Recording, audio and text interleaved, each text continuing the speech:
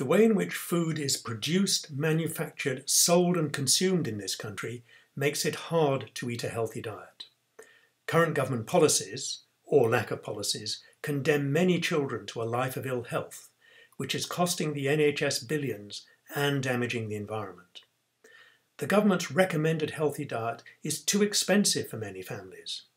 Without enough time, knowledge, and money to shop for healthier food, the poorest in society are most at risk from a system which actively encourages highly processed, less, less healthy food by making it cheaper, more heavily promoted, and easier to buy. One in five people in Britain lives in poverty, and Britain has the highest rate of food insecurity, worries about getting enough to eat, in Europe.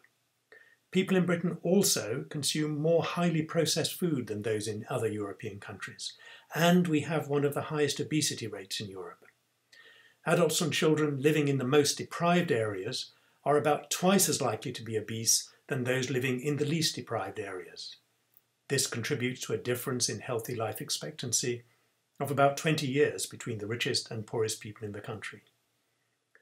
COVID 19 has made an already dreadful situation worse and should be a wake up call for urgent action.